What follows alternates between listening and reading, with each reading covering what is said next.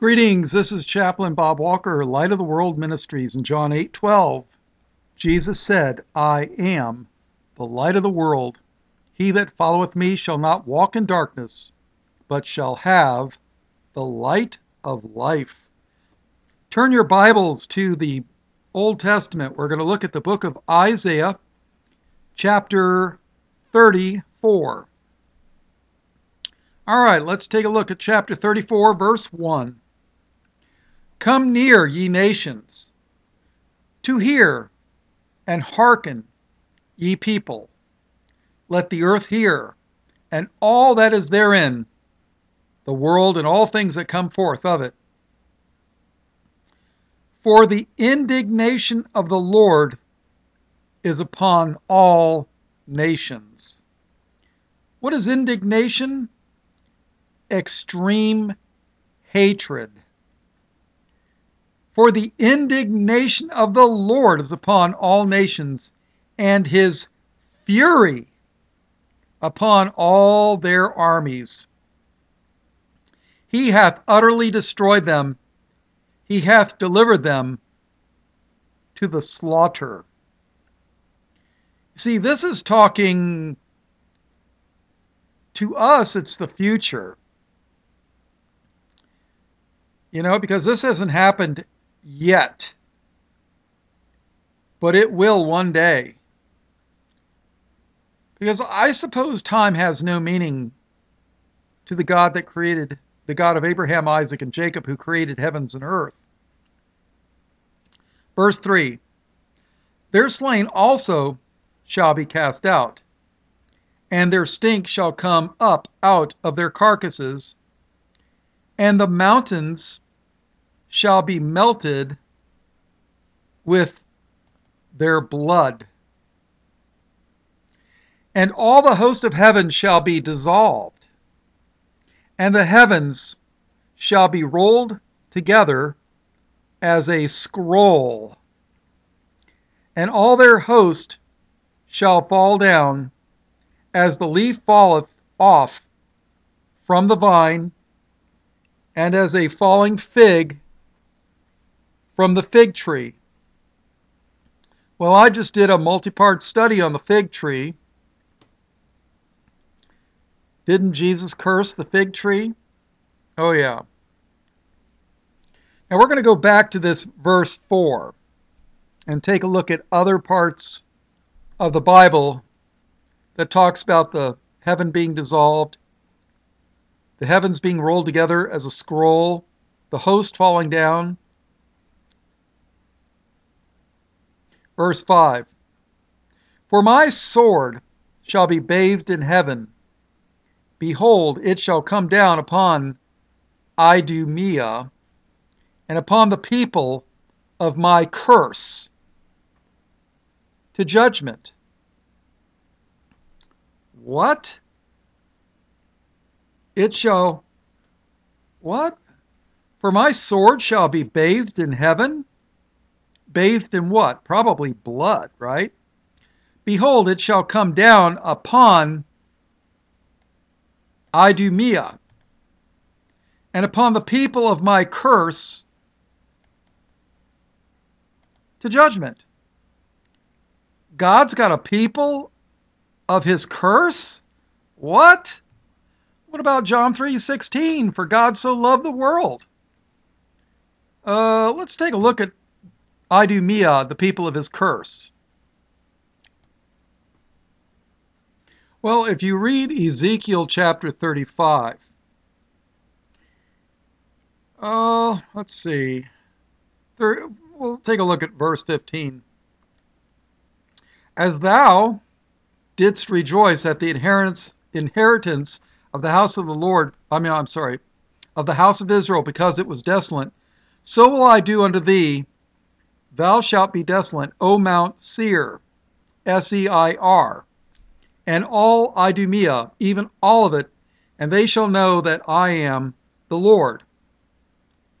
So Idumea is tied in with Mount Seir, S E I R. So who who does Mount Seir belong to? Okay, Genesis 36, verse 9. And these are the generations of Esau, the father of the Edomites, in Mount Seir. Esau was the twin brother of Jacob, who was Israel. He's also called Edom, and they the descendants were called Edomites, and they lived in Mount Seir.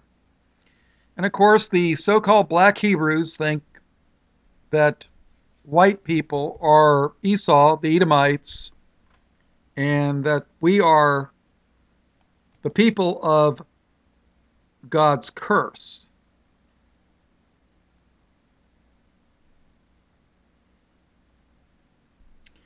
Uh, let's see.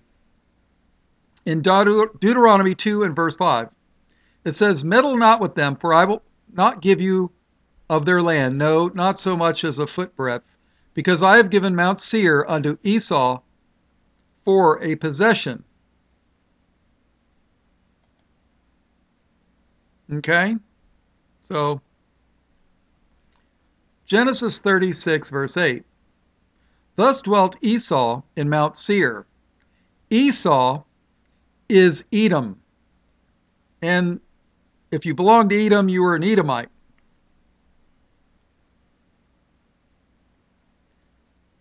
So, let's see.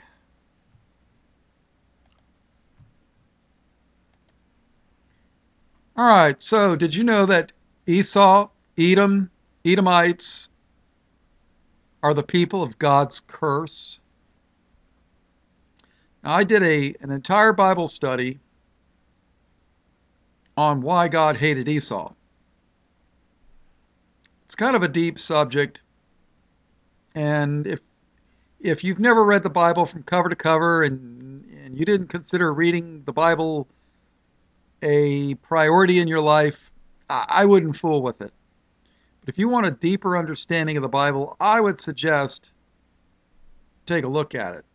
There's a reason why God called the people of Idumea the people of his curse. Verse 6 The sword of the Lord is filled with blood. It is made fat with fatness, and with the blood of, blood of lambs and goats with the fat of the kidney of rams, for the Lord hath a sacrifice in Bozrah, and a great slaughter in the land of Idumea. And the unicorns shall come down with them, and the bullocks with the bulls, and their land shall be soaked with blood, and their dust made fat with fatness. Unicorns. Interesting. Do you know that uh, there are unicorns in the earth today? Yeah, I know. When you look at the, uh, well, when you look in the average media, you know, talking about unicorns, they want you to think it's a horse with a horn sticking out of its forehead. No. There is a Asian rhinoceros with one horn. That's what uni means. Uni means one. Rhino means nose. And its actual name is Unicornus unicornis rhinoceros or rhinoceros. So, how did a, a one horned Asian rhino become a horse with a horn sticking out of its nose with rainbows and sprinkles and stars. And then they laugh at the New Testament and say, ha ha ha ha, unicorns, ha ha ha. Yeah. They won't be laughing when the Lord comes down with his great sword with a slaughter. And the unicorn shall come down with them, and the bullocks with the bulls, and their land shall be soaked with blood, and their dust made fat with fatness. For it is the day of the Lord's, the day of the Lord's vengeance, and the year of recompenses for the controversy of Zion. And the streams thereof shall be turned into pitch. What is pitch? It's uh, like tar, and the dust thereof into brimstone, and the land thereof shall become burning pitch. We're going to go back to verse 10. I'm going to read it first. It shall not be quenched day or night, night or day. Okay? So let's go back to verse 9. And the land thereof shall become burning pitch, it shall not be quenched night nor day. The smoke thereof shall go up for forever. From generation to generation it shall lie waste. None shall pass through it forever and ever. Huh. Sounds like the lake of fire, doesn't it? But the cor- but the cormorant and the bittern shall possess it. The owl also and the raven shall dwell in it, and he shall stretch out upon it the line of confusion and the stones of emptiness. They shall call the nobles thereof to the kingdom, but none shall be there, and all her princes shall be nothing. And thorns shall come up in her palaces, nettles and brambles in the fortress thereof, and it shall be an habitation of dragons. Dragons! And a court for owls. The wild beasts of the desert shall also meet with the wild beasts of the island, and the satyr shall cry to his fellow. The screech owl also shall rest there and find for herself a place of rest. We're going to go back to the screech owl too in this verse. There shall the great owl make her nest and lay and hatch and gather under her shadow. There shall there and there shall the vultures also be gathered, every one with her mate. Here's some really good advice in verse 16. Seek ye out of the book of the Lord and read. Seek ye out of the book of the Lord and read. No one of these shall fail. None shall want her mate, for my mouth it hath commanded, and his spirit it hath gathered them. And he hath cast the lot for them, and his hand hath divided unto them by line. They shall possess it forever, from generation to generation shall they dwell therein. Now, in verse 14, when it mentions the, screech owl, Hebrew word, and basically in English you pronounce it Lilith, L I L I T H. And if you know of Stevie Nicks, uh, she play, uh, sang with a group called Fleetwood Mac. I'm showing my age. But she used to put her, when she do her concerts, she used to dedicate them to all the witches of the world. And if you look up Lilith, there's a bunch of witches that uh, consider her their, I guess, like a patron saint, their goddess. And where do they get all this stuff? Well, it's from the Jewish Babylonian Talmud. And I don't believe any of this stuff. I'm just telling you what they believe. They believe that Lilith was the first wife of Adam before Eve, and that uh, she didn't want to go. Well, let's just put it this way she wanted to be on top, if you catch my drift. She thought being underneath him was beneath her dignity so she left Adam all alone and ran off to be the wife of Samael, which some say is Satan, blah, blah, blah. But uh, according to Jewish legends, she she was the original, um, I think it was a succubus. She would suck the life, the breath, life breath out of children when they were sleeping. I mean, you know, where do they get all this stuff? You know, I mean, one word, Lilith. Where do they come up with all this? I mean, but Lilith, she's supposed to be this evil witch goddess thing, and uh, I don't know. Where do they come up with this? Well, you know, there's a reason why the Bible, in the book of Titus, Paul said to pay no heed to Jewish fables and commandments of men that turn from the truth. Where do they get all that garbage, anyways? You know, it's nonsense. And and I used to, you know, when I first came to the Lord, I, I used to I went to the I went to the uh, library and started looking all this kind of stuff up in the we had a large Jewish reference section. You know, we had the Jewish Encyclopedia, which is a multi-volume, all kinds of stuff. And I'm looking up, reading all this stuff, going, where do they come up with all this stuff in the Bible? Until I finally realized they don't believe the Bible. Most of the great majority of people that call themselves Jews don't believe anything in the Bible. I mean, it's a shame. Really, it's it's a shame. All right, so let's go back to verse 4.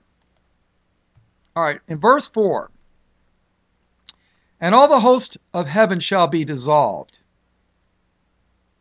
Now, where did we read about that? Let's go take a look. That was in Isaiah 34, verse 4. And all the host of heaven shall be dissolved.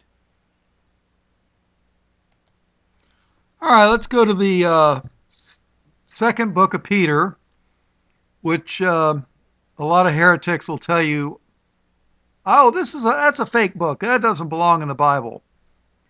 They'll uh, they'll want to throw these other weird books in, like the Gospel of Thomas and all these other weird, strange things that I don't think Thomas wrote the book of Thomas. They'll want to slide that stuff in on you but they'll deny that Peter belongs, Second Peter belongs in the Bible. All right, let's go to Second Peter chapter 3, verse 1. All right, Second Peter chapter 3, verse 1. The second epistle, epistle's just fancy word for letter. The second epistle, beloved, I now write unto you in both which I stir up your pure minds by way of remembrance, that ye may be mindful of the words which were spoken before by the holy prophets. Now, if there's holy prophets, there are unholy prophets too.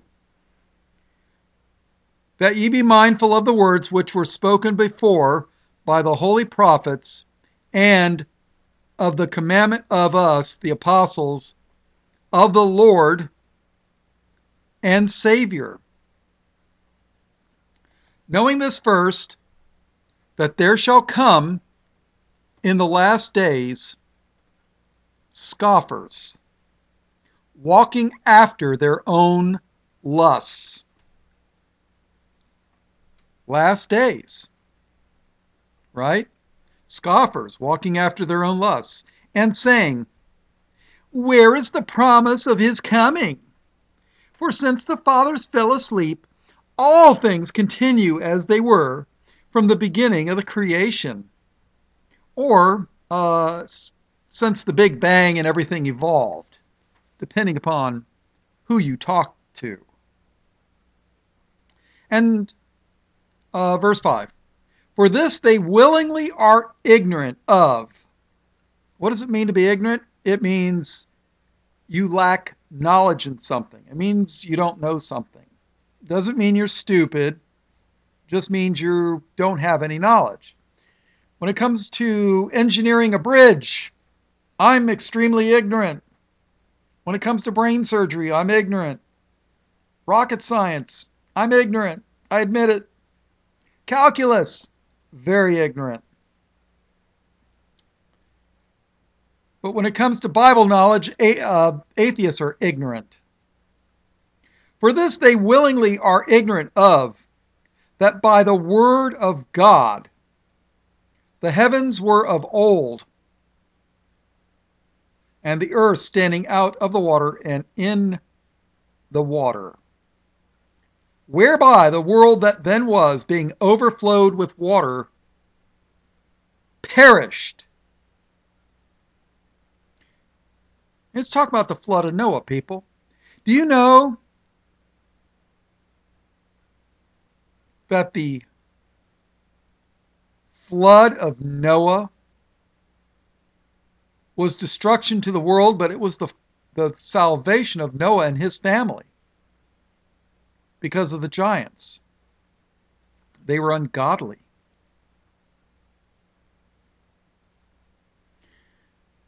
Verse 7 But the heavens and the earth, which are now, by the same word are kept in store, reserved unto fire against the day of judgment and perdition of ungodly men.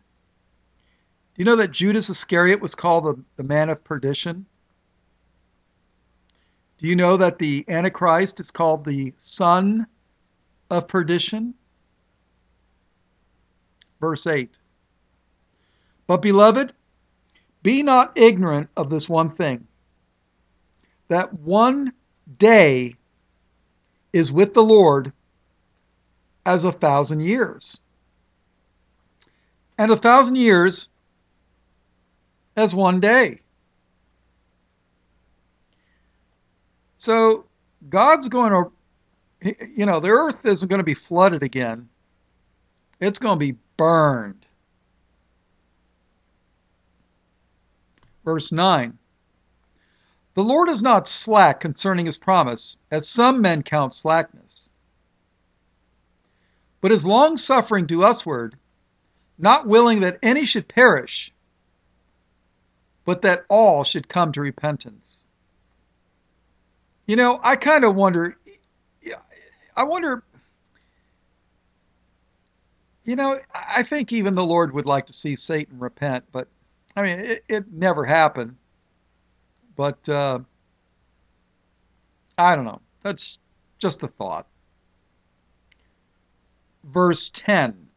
And this ties right in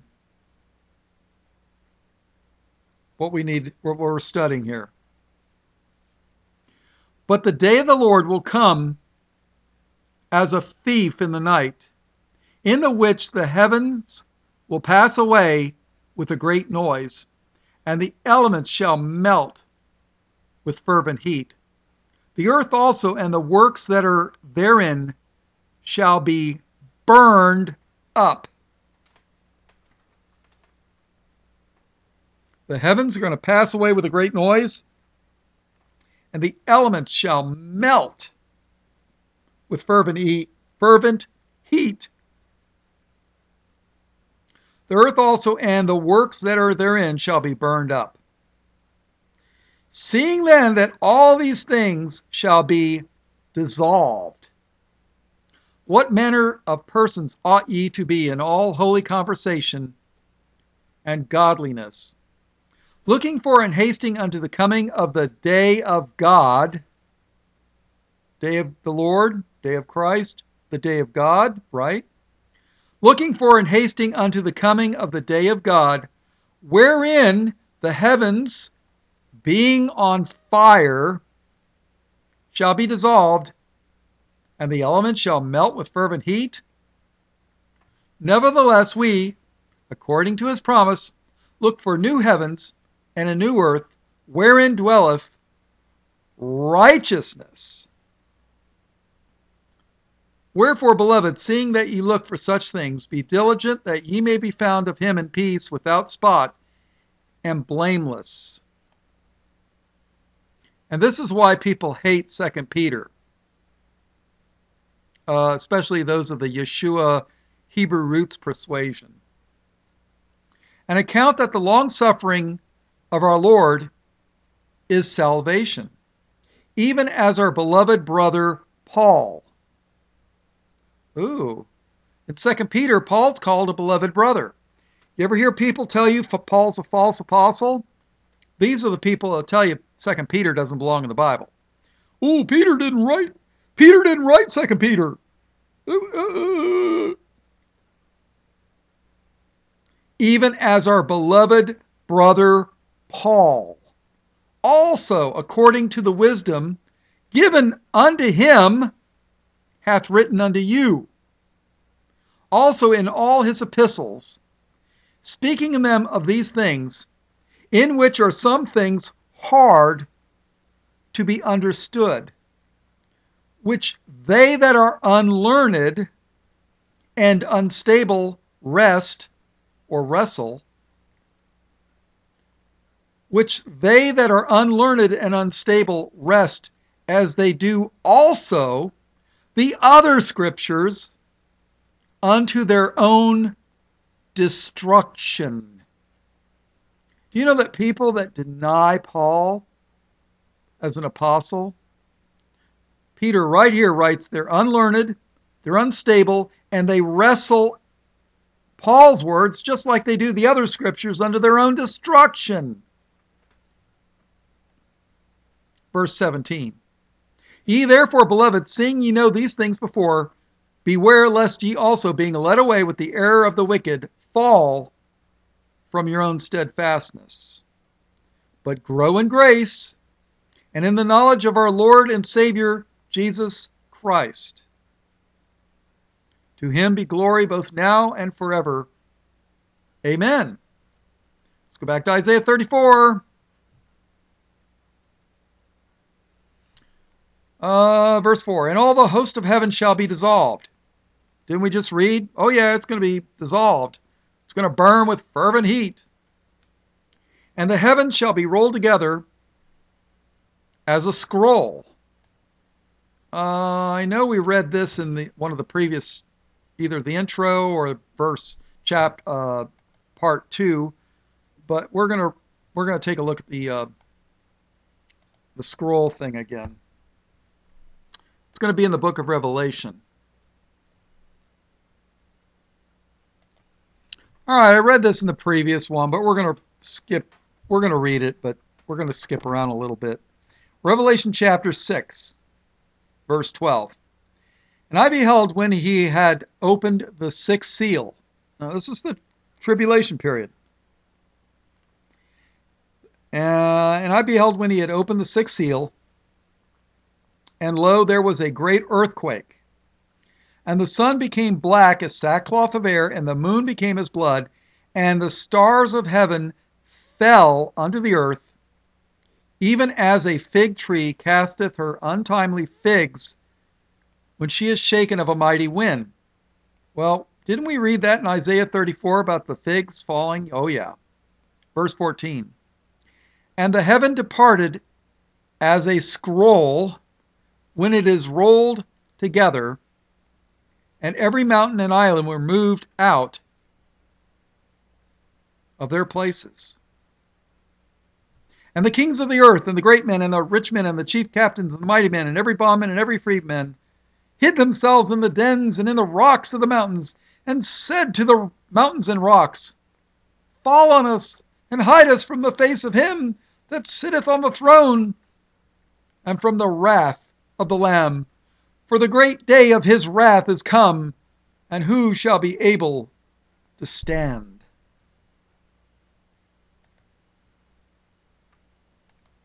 Back to Isaiah 34 4. And all the host of heaven shall be dissolved, and the heavens shall be rolled together as a scroll, and all their host shall fall down, as the leaf falleth off from the vine, and as a falling fig from the fig tree. Didn't we just read that in Revelation 6? Oh, yeah. All right, so let's go, uh, go to verse 10 in Isaiah 34.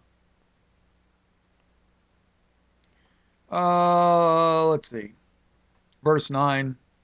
And the streams thereof shall be turned into pitch, and the dust thereof into brimstone, and the land thereof shall become burning pitch. It shall not be quenched night nor day. The smoke thereof shall go up forever from generation to generation. It shall lie waste. None shall pass through it forever and ever. Where do we read about the, the smoke and the land becoming burning pitch? Where do we read this? Well, part of it is in Isaiah, I'm sorry, Revelation chapter 14, verse 1. And I looked, and lo, a lamb stood on the on the Mount Zion, and with him an hundred forty and four thousand, having his father's name written in their foreheads. I think I would rather have the father's name written in my forehead than the mark of the beast, 666. What do you think? And I heard a voice from heaven as the voice of many waters and as the voice of a great thunder, and I heard the voice of harpers harping with their harps. Harpers harping with their harps. Harpers harping with their harps. Say that 10 times real fast, right? And they sing as it were a new song before the throne and before the four beasts and the elders, and no man could learn that song but the hundred and forty and four thousand which were redeemed from the earth these are they which were not defiled with women, for they are virgins. Well, that counts me out. These are they which follow the Lamb whithersoever he goeth. These were redeemed from among men, being the firstfruits unto God and to the Lamb. And in their mouth was found no guile, for they are without fault before the throne of God. And I saw another angel fly in the midst of heaven, having the everlasting gospel.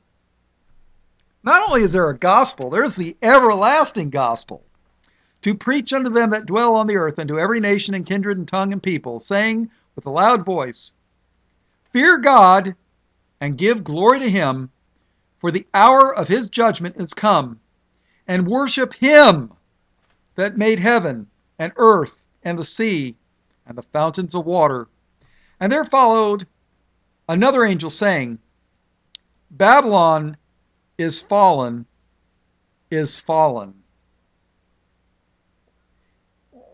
Why do they say that twice? Babylon is fallen, is fallen. That great city, because she made all nations drink of the wine of the wrath of her fornication. See, there was a, spirit, uh, a physical Babylon, it was destroyed. And then there's a spiritual Babylon, and it's going to be destroyed. And I had done an entire Bible study on who Babylon is. I know you got, uh, there's a lot of stuff going around. They'll say it's Mecca, it's New York City, Moscow, Jerusalem. There's a lot of uh, Rome. Uh, you know, there's a lot of theories out there, but what does the Bible say? I, I do it, my study, just from the Bible alone. There's a lot of candidates. There's a lot more cities on seven hills than you know of. Did you know that Istanbul, Turkey, is also built on seven hills, from what I understand? As is Rome, as is Jerusalem, as is Moscow. So, if you're interested, take a look. But it says, Babylon is fallen, is fallen. That great city, because she made all nations drink of the wine of the wrath of her fornication. And the third angel followed them, saying with a loud voice, If any man worship the beast and his image and receive his mark in, in, in his forehead or in, in his hand, it's funny, all the modern Bible versions say on. My Bible, King James says in. If any man worship the beast and in his image and receive his mark in his forehead or in his hand, the same shall drink of the wine of the wrath of God, which is poured out without mixture industrial strength, people. It's not diluted, it's poured out full strength, which is poured out without mixture into the cup of his indignation. And he, he shall be tormented with fire and brimstone in the presence of the holy angels and in the presence of the Lamb. So if there's holy angels, there's unholy angels. Verse 12 and the smoke. It kind of gives new meaning to the, uh, uh, you know, you go to a, a bar or something, you know, uh, is there a smoking section? And the smoke of their torment ascendeth up forever and ever. And they have no rest day nor night, who worship the beast in his image, and whosoever receiveth the mark of his name. Here is the patience of the saints. Here are they that keep. Here are they that keep the commandments of God and the faith of Jesus. So if you're a Torah keeper and you don't really have the faith of Jesus, I guess you're kind of out of luck. Or if you have the faith of Jesus, aren't we supposed to keep the commandments? Well, you know, somebody asked Jesus, what, what was the great commandment? He says, well, love the Lord thy God with all your heart, all your soul, and all your mind. He says, and the second is like unto the first love thy neighbor as thyself. On these two hang all the law and the prophets. Love the Lord, love thy neighbor. That's basically keeping the Lord's commandments. I'm paraphrasing there, but uh, I think you get the point. And I heard a voice from heaven saying unto me, Write, Blessed are the dead which die in the Lord from henceforth. Yea, saith the Spirit, that they may rest from their labors, and their works do follow them. And I looked, and behold, a white cloud, and upon the cloud one sat like unto the Son of Man, having on his head a golden crown, and in his hand a sharp sickle. And another angel came out of the temple, crying with a loud voice to him that sat on the cloud, Thrust in thy sickle and reap, for the time is come for thee to reap, for the harvest of the earth is ripe. And he that sat on the cloud thrust in his sickle on the earth, and the earth was reaped. And another angel came out of the temple which is in heaven, he also having a sharp sickle. And another angel came out from the altar, which had power over fire over fire, and cried with a loud voice to him that had the sharp sickle, saying, Thrust in thy sharp sickle and gather the clusters of the vine of the earth, for her grapes are fully ripe. Now, when I did the fig study recently, the uh, I also covered grapes. You know, grapes were the symbol of Israel. Thrust in thy sharp sickle and gather the clusters of the vine of the earth, for her grapes are fully ripe. And the angel thrust in his sickle into the earth and gathered the wine, the vine, the vine of the earth, and cast it into the great winepress of the wrath of God. Do you know when they squeeze grapes, they call it the blood of grapes that they turn into wine? W I N E. You know, you, vine and wine kind of sound alike, but. Verse 20 And the winepress was trodden without the city, and blood came out of the winepress, even unto the horse bridles, by the space of a thousand and six hundred furlongs. Wow.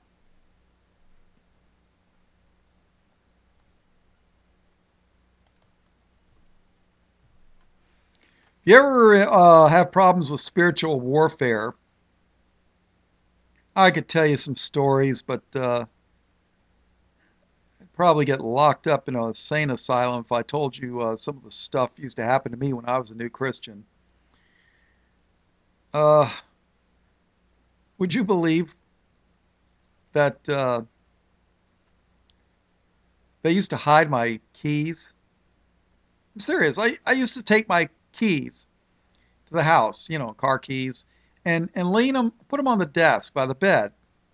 I mean, always same place every night. I'd wake up and they're not there. I'm like, what? And I'd have to search through the house, and you know, sometimes they'd be under the couch or or in the kitchen, or I was like, what? I mean, you know, nobody. I, I didn't have anybody else that had the keys to my place, and and and the landlord did, wasn't sneaking into my house at you know two three o'clock in the morning. But uh, you know, I figured, well, it's probably the devil's. Just you know, that was the worst thing they could do to me was hide my keys. I used to laugh at them, and I used to read this to them, Revelation chapter twenty, verse ten. And the devil that deceived them was cast into the lake of fire and brimstone where the beast and the false prophet are, and they shall be tormented day and night forever and ever. Forever and ever. Forever and ever. So, in Revelation 14, in verse 11, you know, and it says, And the smoke of their torment ascendeth up forever and ever, and they have no rest day nor night who worship the beast in his image, and whosoever receiveth the mark of his name. Here's the patience of the saints. Here are they that keep the commandments of God and the faith of Jesus. So in Isaiah 34, verse 10, it shall not be quenched, night nor day, the smoke thereof shall go up forever. From generation to generation it shall lie waste. None shall pass through it forever and ever. So, I think that's it for this Bible study. We'll be back. We're going to go through every chapter where it talks about the day of the Lord and the day of Christ. And we're going to contrast the two. And by the time uh, we're done, hopefully you'll realize either the day of Christ is the pre trib rapture or that the day of the Lord, the day of Christ are the same event. So, all right, well, this is Light of the World Ministries. All blessings, praise, glory, and honor to the Lamb of God slain before the foundation of the world. And that's Jesus, who is the Christ. In his precious name, amen.